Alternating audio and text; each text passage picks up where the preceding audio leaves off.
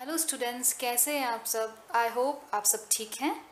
So this is doctor Meenakshi your chemistry teacher today we are going to study a very interesting topic of electrochemistry chapter that is conductors so students you know very well that some compound conduct electricity they allow the flow of electricity whereas substance do not allow the flow of electricity which allow the flow of electric current through them are called conductors. So substance, I am writing the definition, substance which allow flow of current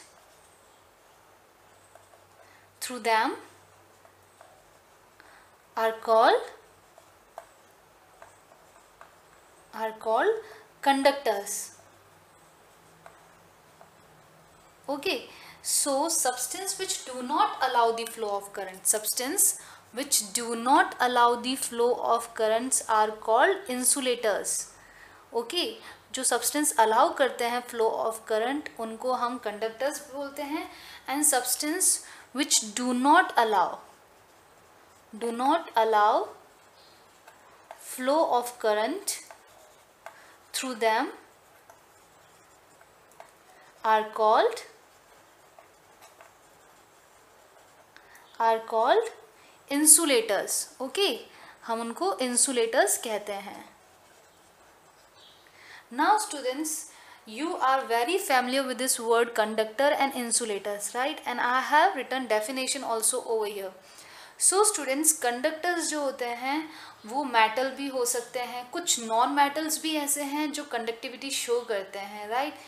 and insulators के भी हम examples जानते हैं बहुत अच्छी तरीके से, जैसे कि wood plastics these are the some examples of insulators now students we have to deal with the topic conductors तो बच्चों कंडक्टर्स टू टाइप्स के होते हैं।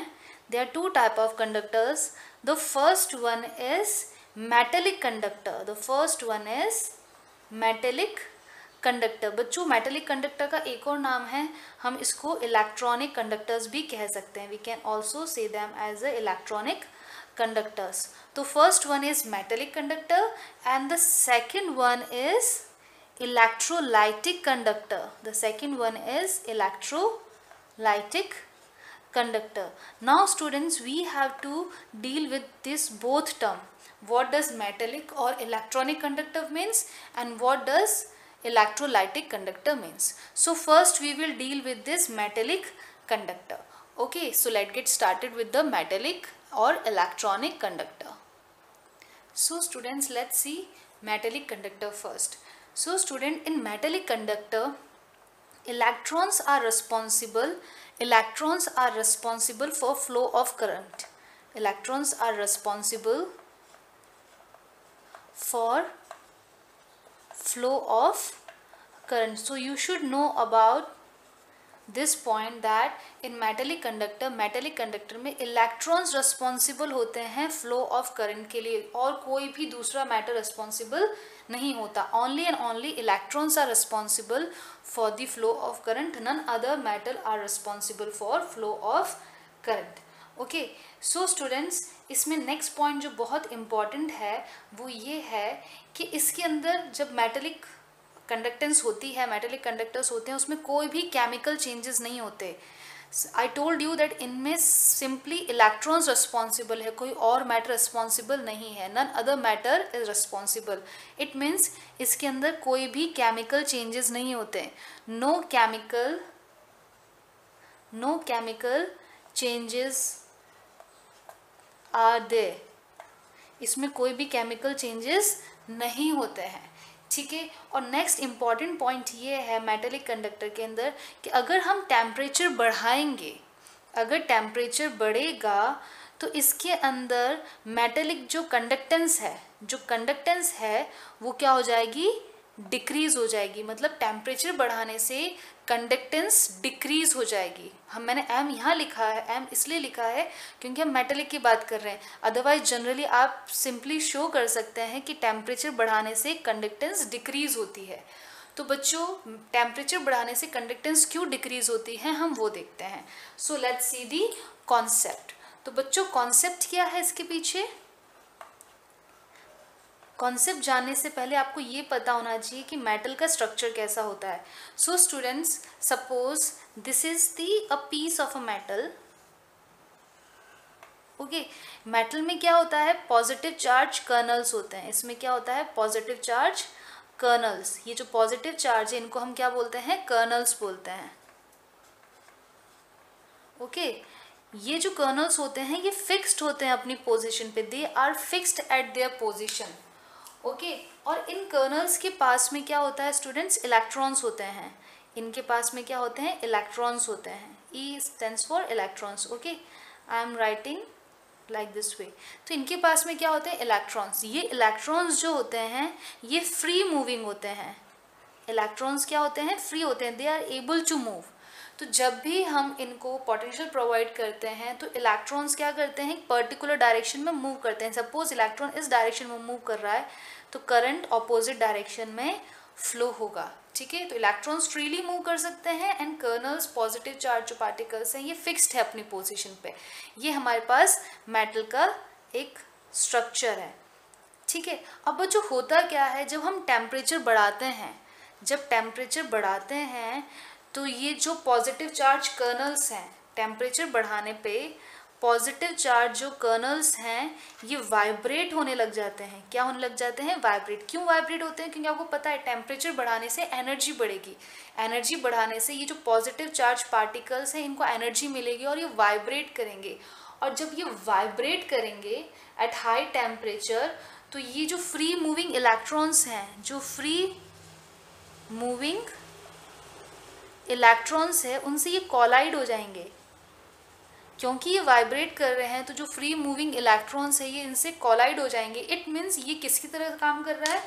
ये जो वाइब्रेटिंग पार्टिकल्स है, ये किसकी तरह काम कर रहे हैं? ये रेजिस्टेंस की तरह काम कर रहे हैं। They are working as resistance right right? ये हर्डल क्रिएट कर रहे हैं फ्री मूविंग इलेक्ट्रॉन्स इलेक्ट्रॉन्स बहुत आराम से फ्लो हो रहे थे करंट अच्छे से जनरेट हो रहा था. बट क्योंकि पॉजिटिव पार्टिकल वाइब्रेट करने लग गए तो इनके पाथ में क्या आ गया? एक हर्डल आ गया है. तो अब ये इलेक्ट्रॉन फ्रीली मूव नहीं कर पा रहे हैं. ये क्या कर रहे हैं? जो इलेक्ट्रॉन्स फ्रीली मूव करते हैं, इन पॉजिटिव चार्ज से कॉलाइड होंगे और उनका जो फ्री मूवमेंट है वो रिस्ट्रिक्टेड हो जाएगा। इट मीन्स ये पॉजिटिव चार्ज किसकी तरह काम कर रहा है? रेजिस्टेंस की तरह काम कर रहा है। जब रेजिस्टेंस बढ़ जाएगा तो आप जानते हैं, जैसे ही रेजिस्टेंस बढ़ जाएगा तो करंट फ्लो क्या हो जाएगा? कम हो जाएगा। ठीक है? तो सिंपल हम कह सकते हैं टेम्परेचर बढ़ाने से इलेक्ट्रॉन का फ्लो कम हो जाता है। इलेक्ट्रॉन का फ्लो कम होने की वजह से कंडक्टिविटी भी कम हो जाती है। ठीक है तो टेम्परेचर बढ़ाने से क्या होता है? पॉजिटिव चार्ज जो कर्नल्स हैं, वो वाइब्रेट करने लगते हैं, वो रेजिस्टेंस क्रिएट करते हैं और रेजिस्टेंस क्रिएट करने की वजह से कंडक्टिविटी कम हो जाती है।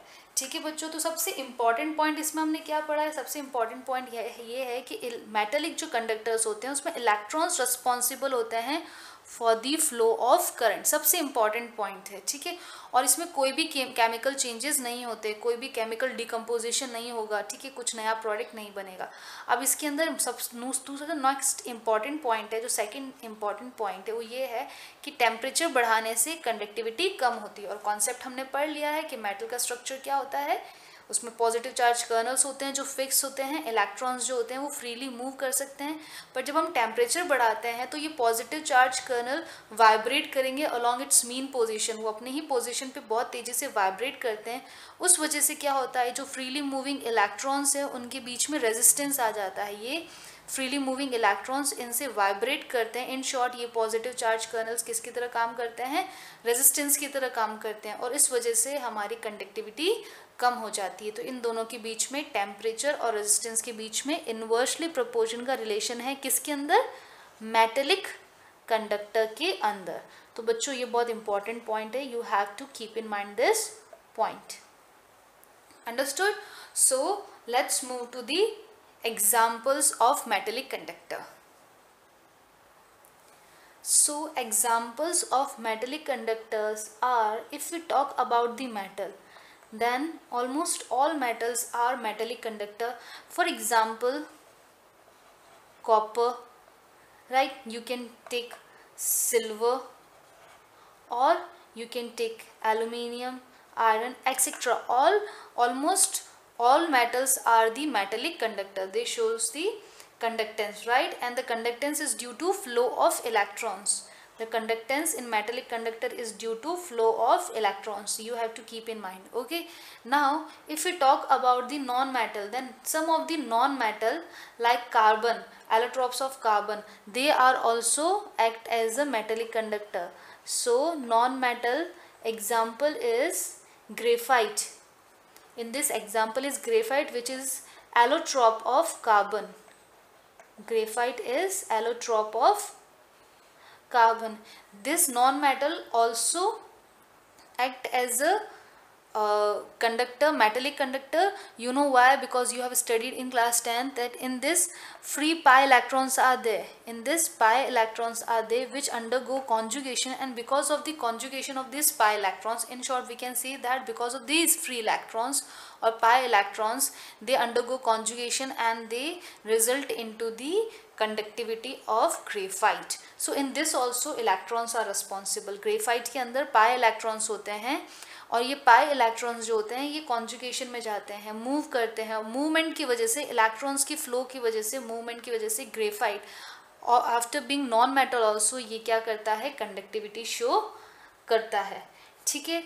और इसी तरीके से जो अलॉयज होते हैं many of the alloys also shows metallic conductivity so most of the metal shows metallic conductivity non-metal for example graphite also shows the conductivity metallic conductivity and some of the alloys also shows the metallic conductivity so passage of current through these material has no observable effect other than the rise in temperature right so इनके अंदर सिर्फ़ एक temperature ही ऐसा factor है जो conductivity को affect करता है अपार्ट फ्रॉम दैट कोई दूसरा कोई भी ऐसा फैक्टर नहीं है जो इनमें कंडक्टिविटी को अफेक्ट करे। So let's see the next conductor which is electrolytic conductor so students metallic conductor हमने पूरी तरह से पढ़ लिया है। इसकी जो मेन पॉइंट्स है, अगर समरी पॉइंट्स करें तो इसमें इलेक्ट्रॉन जो है, वो रिस्पॉन्सिबल है इलेक्ट्रिक करंट के लिए फ्लो ऑफ़ करंट के लिए। सेकेंड पॉइंट इसके अंदर टेम्परेचर बढ़ाने से कंडक्टिविटी कम हो जाती है, ठीक है? और कोई भी केमिकल डिकम्पोजिशन नहीं होता है। तो ये जो टू इंपॉर्टेंट पॉइंट्स है मेटेलिक कंडक्टिविटी के, ठीक है? Apart from example these are the two important points जो आपको याद रखने हैं। So let's move to the electrolytic conductors let's see about electrolytic conductors so students metallic conductor हमने कवर कर लिया है, उसमें इलेक्ट्रॉन्स रिस्पॉन्सिबल थे। तो इलेक्ट्रोलाइटिक कंडक्टर में क्या रिस्पॉन्सिबल है? फ्लो ऑफ़ करंट के लिए आयंस जो फ्री आयंस होंगे, ये रिस्पॉन्सिबल होंगे for the flow of current अब बच्चों, इस टॉपिक को थोड़ा और आगे ले जाने से पहले हमें दो टर्म के बारे में पता होना चाहिए। The first one is electrolyte and the second term is non electrolyte ठीक है? ये दो टर्म्स हमें पता होनी चाहिए, तभी हम इलेक्ट्रोलाइसिस के बारे में पता कर पाएँगे। तो बच्चों इलेक्ट्रोलाइट का मतलब क्या होता है? इलेक्ट्रोलाइट का मतलब है substance substance which ionize substance which ionize in aqueous या तो एक्वस मतलब वाटर में हम उसको डिजोल्व कर दें, तब वो आयनाइज हो जाएँ, या फिर मॉल्टन स्टेट मतलब उनको मेल्ट कर दें फ्यूज़ कर दें उस स्टेट में। तो substance which get ionized in molten और aqueous state are called electrolytes for example अगर मैं कोट करती हूँ तो एन ठीक है, ये सॉल्ट है। जब हम इनको वाटर में ऐड करते हैं डिज़ोल्व करते हैं तो ये किसमें कन्वर्ट हो जाता है? एन प्लस में एन सी एल माइनस में। तो ये आयनाइज हो चुका है। तो ये सब्सटेंस जो है एन ये वाटर में आयनाइज होता है एक्वस सॉल्यूशन में आयनाइज होता है, इसका मतलब ये क्या है? इलेक्ट्रोलाइट तो इन शॉर्ट हम कह सकते हैं substance which convert into ions substance which convert into ions are called electrolytes okay तो इलेक्ट्रोलाइट्स के एग्ज़ाम्पल है acids base salts these are all the these are all the example of electrolytes ठीक है? तो इसके अंदर एग्जाम्पल्स क्या आते हैं? एसिड्स बेस या फिर सॉल्ट्स ये सब क्या है? इलेक्ट्रोलाइट के एग्ज़ाम्पल हैं। ठीक है, इस इलेक्ट्रोलाइट को और फर्दर कैटेगराइज किया हुआ है strong electrolyte and weak electrolyte तो वो हम नेक्स्ट टॉपिक में स्टडी करेंगे। ठीक है तो अभी के लिए हमें ये देखना है कि सब्सटेंस जो आयनाइज हो जाए, जो टूट जाएँ अपने पॉजिटिव और नेगेटिव आयंस के अंदर किसमें कौन से स्टेट में एक्वस या फिर मॉल्टन स्टेट में, उनको हम क्या बोलते हैं? Electrolytes so electrolytes are the substance whose aqueous solutions allow the passage of electric current क्यों? क्योंकि इसमें आयंस क्रिएट हो रहे हैं, ठीक है? तो substance which get ionize in aqueous और molten state are called electrolytes तो इसका मतलब नॉन इलेक्ट्रोलाइट्स क्या होंगे? Substance which do not which don't ionize मतलब ये सॉल्यूशन के अंदर या मॉल्टन स्टेट में आयनाइज नहीं होते हैं, ठीक है? तो substance which do not ionize in aqua solution उनको हम क्या बोलते हैं? नॉन इलेक्ट्रोलाइट और इनके एग्ज़ाम्पल क्या है? एग्जाम्पल्स की अगर हम बात करें तो सॉल्यूशन ऑफ़ केन शुगर ठीक है? अगर हम केन शुगर का सॉल्यूशन लेते हैं तो वो आयनाइज नहीं होता है। ठीक है, अगर नेक्स्ट एग्ज़ाम्पल की मैं बात करूँ तो सॉल्यूशन ऑफ़ ग्लीसरीन ये भी आयनाइज नहीं होता है, ठीक है? अगर अल्कोहल की बात करें तो ये भी, इसका भी ये भी सॉल्यूशन फॉर्म में आयनाइज नहीं होता है, ठीक है?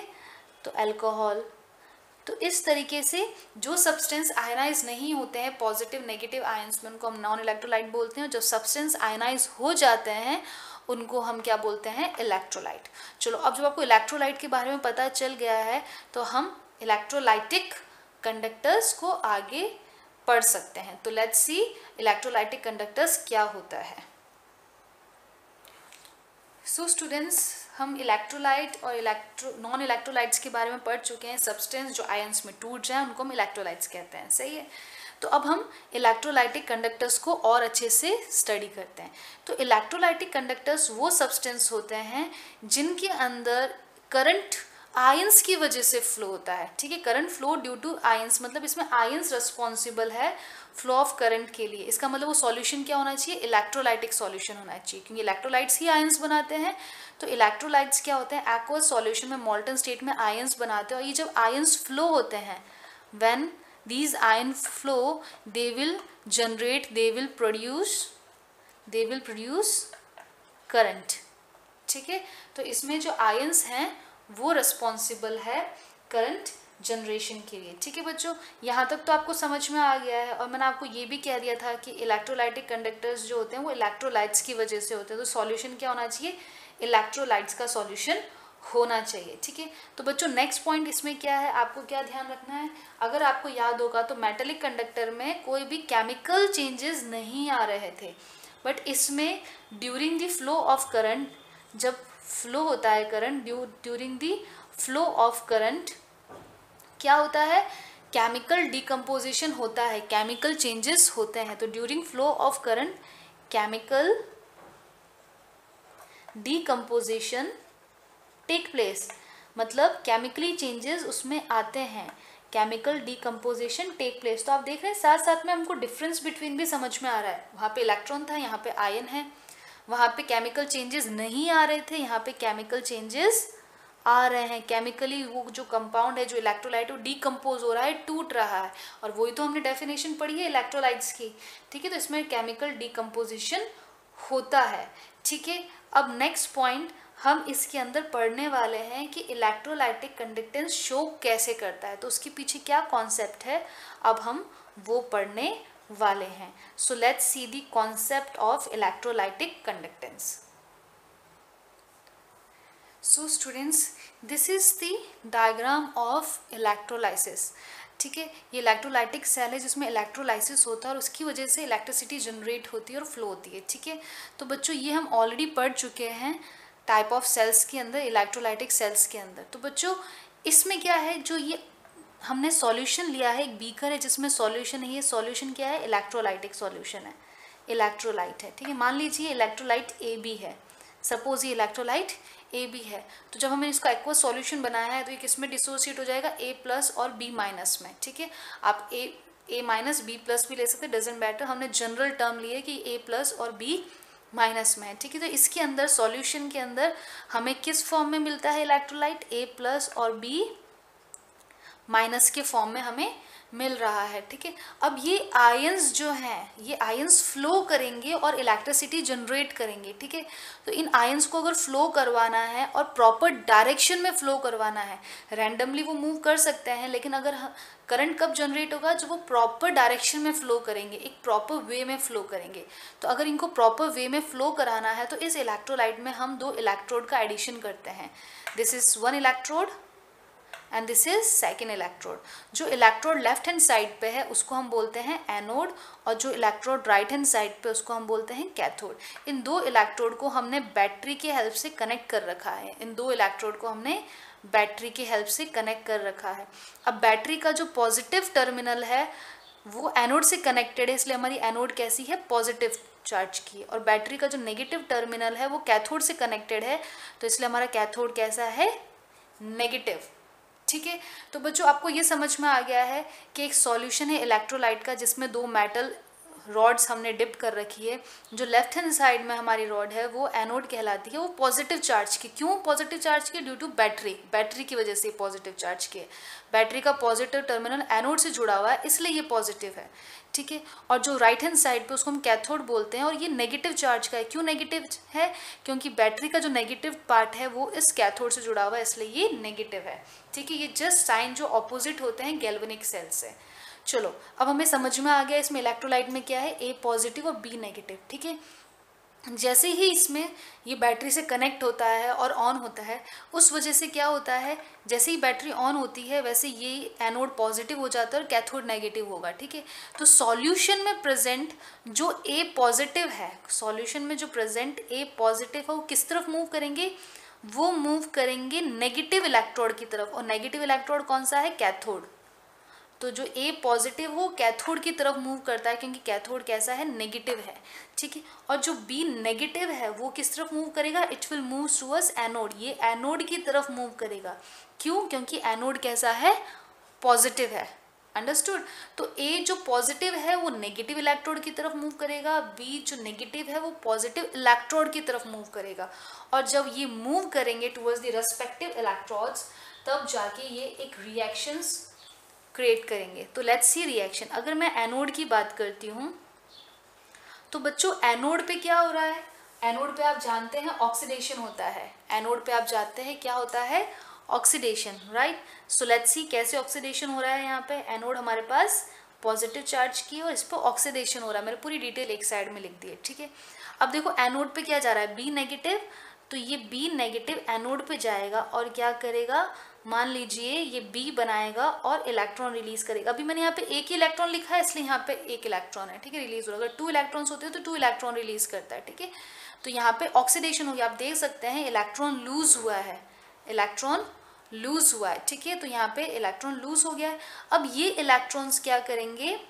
ये इलेक्ट्रॉन्स फ्लो करेंगे फ्रॉम एनोड टू कैथोड ये जो इलेक्ट्रॉन बना है, ये इलेक्ट्रॉन फ्लो करेगा फ्रॉम एनोड क्योंकि एनोड पे जनरेट हुआ है ना तो ये एनोड पे जनरेट हुआ और किस तरफ़ जाएगा? ये कैथोड की तरफ़ जाएगा, ठीक है? ये बात समझ में आ गई? चलो, ठीक है। तो अब हम चलते हैं कैथोड की तरफ़ रिएक्शन क्या हो रही है। अब जानते हैं बच्चों कैथोड पे क्या होता है? हम पढ़ चुके हैं ऑलरेडी पहले इसके बारे में। कैथोड पे क्या होता है? रिडक्शन होता है राइट कैथोड पे रिडक्शन होता है मतलब गेनिंग ऑफ़ इलेक्ट्रॉन हो गया। और कैथोड कैसी चार्ज की यहाँ पे? माइनस बैटरी की वजह से। ठीक है? तो अब देखो कैथोड पे क्या आ रहा है? ए प्लस तो ये ए प्लस कैथोड पे आएगा। ठीक है? जो इलेक्ट्रॉन एनोड से जनरेट हुआ है, वो कैथोड की तरफ़ जा रहा है। ठीक है? तो ये जो ए प्लस है, ये वहाँ से उस कैथोड से उस इलेक्ट्रॉन को लेगा और किसमें कन्वर्ट हो जाएगा? ए में। ठीक है? तो जो ए प्लस इस नेगेटिव कैथोड की तरफ़ गया है, वो इलेक्ट्रॉन जो एनोड से आया है कैथोड की तरफ़ उसको गेन करेगा ए प्लस इस इलेक्ट्रॉन को गेन करेगा और न्यूट्रल ए का फॉर्मेशन करेगा। तो बच्चों, आप देख सकते हैं, इसमें जो चार्ज स्पीसीज है, जो चार्ज स्पीसीज वो किसमें कन्वर्ट हो रही है? न्यूट्रल में कन्वर्ट हो रही है। तो इलेक्ट्रोलाइसिस में क्या होता है? जो चार्ज स्पीसीज होती है, चार्ज स्पीसीज किसमें कन्वर्ट हो जाती है? न्यूट्रल पार्टिकल के अंदर। न्यूट्रल न्यूट्रल पार्टिकल्स के अंदर वो कन्वर्ट हो जाता है तो ये भी इंपॉर्टेंट पॉइंट आपको ध्यान रखना है, ठीक है? तो आपको समझ में आ गया एनोड पे क्या हो रहा है और कैथोड पे क्या हो रहा है? एक बार फिर से आप पॉज करके देख लीजिए तो आपको एकदम क्लियरली समझ में आ जाएगा। अब देखो बच्चों, आपको क्या समझ में आ रहा है? अगर हम यहाँ पे देखें तो इलेक्ट्रॉन कहाँ से गया था? एनोड से कैथोड की तरफ़ इलेक्ट्रॉन मूव करता है। एनोड से कैथोड की तरफ़ इलेक्ट्रॉन मूव कर रहा है। एनोड पे जनरेट हो रहा है और कैथोड पे जा रहा है, ठीक है? जब ऐसे जाएगा तो आपको पता है करंट कौन से डायरेक्शन फ्लो करेगा? ऑपोजिट डायरेक्शन में करंट ऑपोजिट डायरेक्शन में फ्लो होगा। तो आपको बहुत ध्यान देना इस बात पे कि इलेक्ट्रॉन जो है वो एनोड से कैथोड की तरफ़ जाता है। इलेक्ट्रॉन जो है वो एनोड से कैथोड की तरफ़ जाता है तो करंट कहाँ से कहाँ मूव करेगा? कैथोड से एनोड की तरफ़ मूव करेगा। ठीक है? तो बच्चों, आपको समझ में आया यहाँ पे? इलेक्ट्रॉन्स की मूवमेंट की वजह से इलेक्ट्रिसिटी जनरेट हो रही है करंट फ्लो हो रहा है। ठीक है?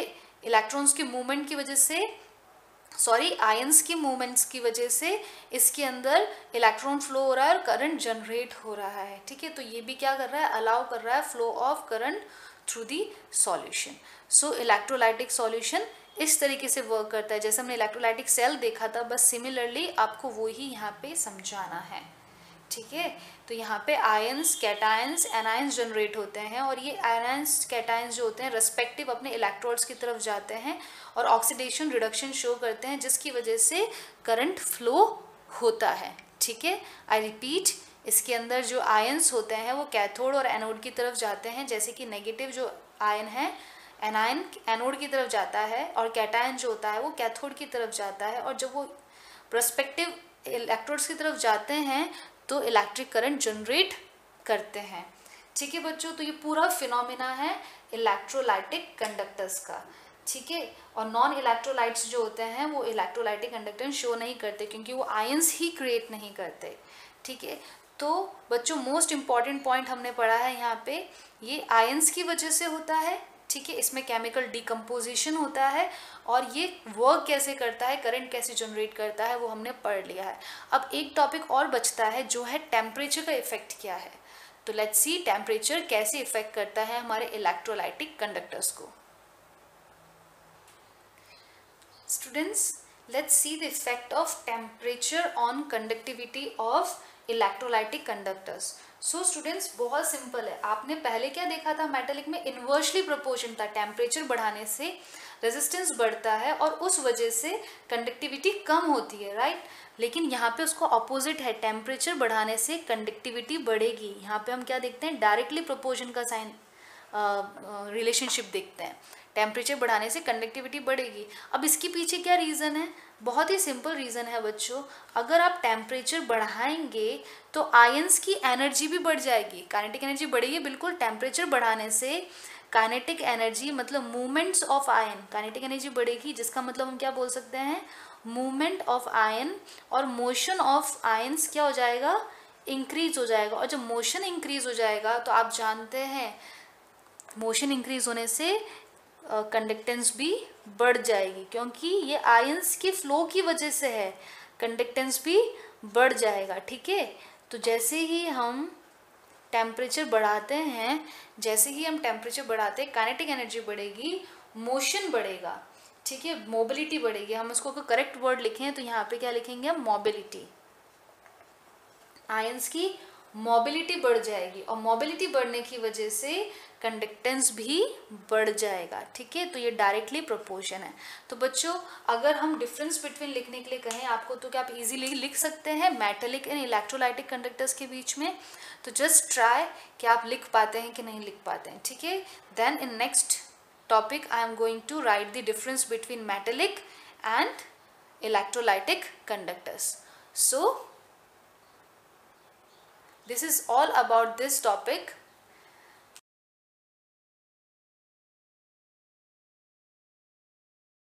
equivalent conductance क्या होता है मोलर कंडक्टेंस क्या होता है तो बच्चों first equivalent conductance equivalent conductance is the conductance of all the ion produced by 1 gram of equivalent of electrolyte तो 1 ग्राम इक्वलेंट इलेक्ट्रोलाइट से जितने भी आयंस प्रोड्यूस होंगे और वो जो आयंस कंडक्टेंस क्रिएट करेंगे, उसको हम क्या बोलते हैं? इक्विवेलेंट कंडक्टेंस तो हम इसकी डेफिनेशन लिख देते हैं।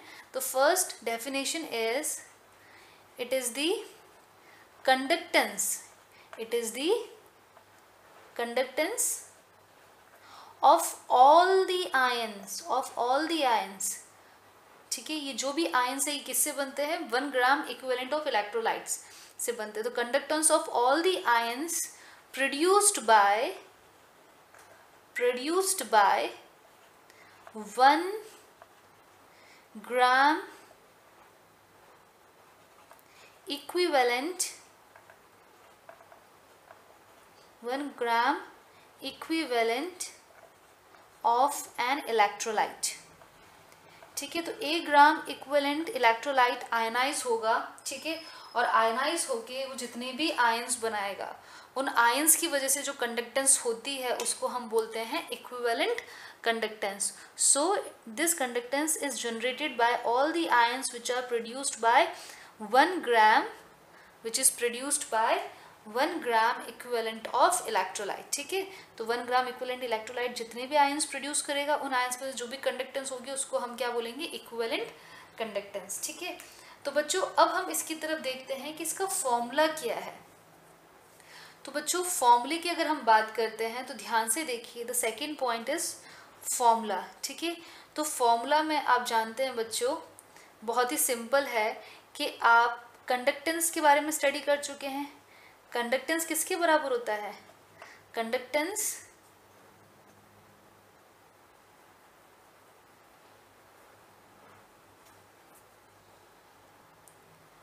let's see the formula of equivalent conductance तो बच्चों, जो इक्विलेंट कंडक्टेंस है, उसको हम रिप्रेजेंट करते हैं डेल ई क्यू से, ठीक है? तो उसका जो फॉर्मूला है, वो इक्वल्स टू है kappa that is conductivity into volume kappa that is conductivity into volume ठीक है? तो कंडक्टिविटी तो सेम ही रहेगी।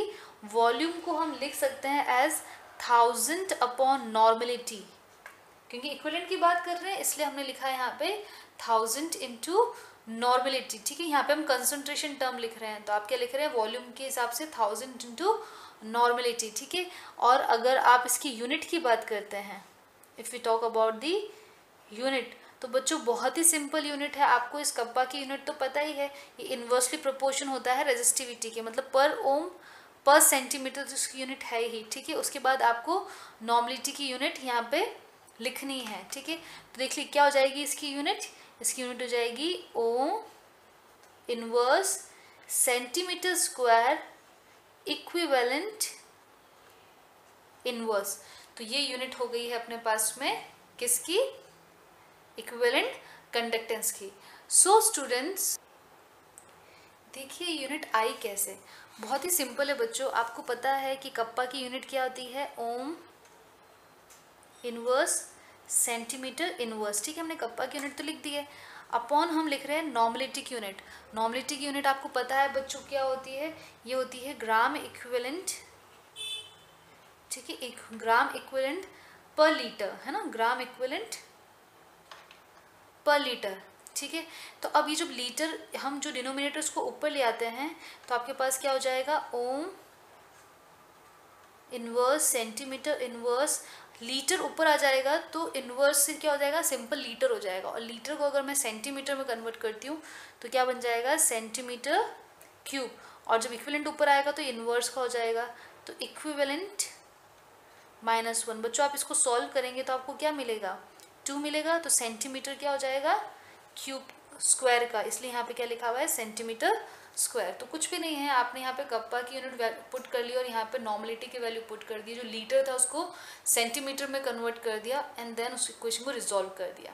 सिंपल अब बच्चों नेक्स्ट हम चल रहे हैं मोलर कंडक्टेंस तो मोलर कंडक्टेंस की डेफिनेशन भी सेम है। The conductance of all the ion produced by अब यहाँ पे आप क्या वर्ड यूज़ करेंगे? Produced by one gram mole of electrolyte. तो यहाँ पे आप क्या लिखेंगी? The conductance I am writing in short the conductance of all the ions produced by one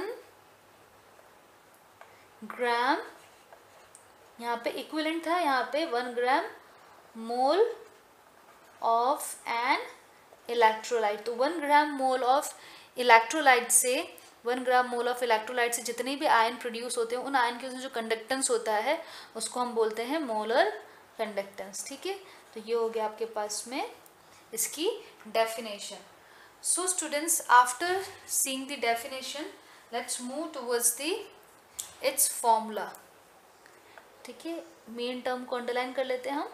second देखिए बच्चा फॉर्मूला क्या है? आप इसको रिप्रेजेंट कैसे करते हैं? डेल एम से, ठीक है? और फॉर्मूला है K into V kappa into volume तो कप्पा तो एज इट इज़ रहेगा कंडक्टिविटी एज इट इज़ रहेगी, और वॉल्यूम को आप क्या लिख सकते हैं? थाउज़ेंड और क्योंकि मॉलरिटी में है तो थाउज़ेंड अपॉन एम ठीक है? तो इस तरीके से ये तो हो गया इसका फॉर्मूला राइट अगर आप इसकी यूनिट की बात करते हैं अगर आप इसकी यूनिट की बात हो तो बच्चों बहुत सिंपल है, यहाँ पे इक्विलेंट है और यहाँ पे क्या आ जाएगा? पर मोल तो देखो यूनिट सेम रहेगी ओम इनवर्स सेंटीमीटर स्क्वायर और यहाँ पे क्या हो जाएगा आपका? मोल इनवर्स ग्राम इनवर्स की जगह हो जाएगा सॉरी इक्वलेंट इनवर्स की जगह हो जाएगा mole inverse now question arises ये यूनिट आई कैसे? So let's see the unit तो बच्चों देखो, कप्पा की यूनिट आपको पता है क्या है? ओम माइनस वन ठीक है? और ये हो जाएगा सेंटीमीटर इनवर्स ठीक है? ओम इनवर्स सेंटीमीटर इनवर्स ठीक है? अगर आप इसकी बात करें मोलरिटी की तो मोलरिटी की यूनिट होती है मोल पर लीटर ठीक है? मोलरिटी की यूनिट होती है मोल पर लीटर अब वापस आप मोल को ऊपर ले जाएँ लीटर को ऊपर ले तो मोल तो इन्वर्स का हो जाएगा और लीटर नॉर्मल हो जाएगा, ठीक है? इन्वर्स साइन हट जाएगा। और आप लीटर को सेंटीमीटर में कन्वर्ट कर देते हैं तो देखो क्या हो जाएगा? Ohm minus one centimetre minus one और यहाँ क्या हो जाएगा? Centimetre cube. ठीक है, यहाँ पे क्या हो जाएगा? Centimetre cube. और ये जो मोल है, ये इन्वर्स का हो जाएगा ऊपर जाने पे तो हो जाएगा मोल माइनस वन। ठीक है तो बस आप इसको सॉल्व कर दीजिए बच्चों, आपको क्या मिलेगा? Centimetre square. तो this is all about the equivalent conductance so, it is a conductance which is created by, produced by all the ions which are generated by one gram equivalent of electrolyte. Formula आपके पास ये रहा, kappa into thousand upon normality क्योंकि हम gram equivalent की बात कर रहे हैं। यूनिट है पर ohm centimetre square equivalent inverse ठीक है? और इसी तरीके से अगर मोलर कंडक्टिविटी की बात करते हैं तो it is conductivity produced by all the ions which are generated by one gram mole of electrolyte एक ग्राम मोल इलेक्ट्रोलाइट से जितने भी आयंस बनते हैं, उनकी जो कंडक्टेंस होती है, उसको मोला कंडक्टेंस कहते हैं, ठीक है? उसके बाद में इसकी यूनिट क्या हो गई है? सॉरी इसके बाद फॉर्मूला क्या हो गया है? It is equals to K into thousand upon M M यहाँ पे मोलरिटी है. एंड नॉर्मलिटी है, ये मोलिटी क्यों? मोल की बात कर रहे हैं, ठीक है? तो यूनिट क्या हो जाएगी? यूनिट हो जाएगी पर ohm centimetre square mole inverse ठीक है? यहाँ पे इक्विलेंट लिया था नॉर्मलिटी की वजह से यहाँ पे हम मोलरिटी की वजह से पर मोल ले रहे हैं। तो बच्चों फॉर्मूला डेफिनेशन एंड यूनिट बहुत इंपॉर्टेंट है। So this is all about the equivalent conductance and molar conductance.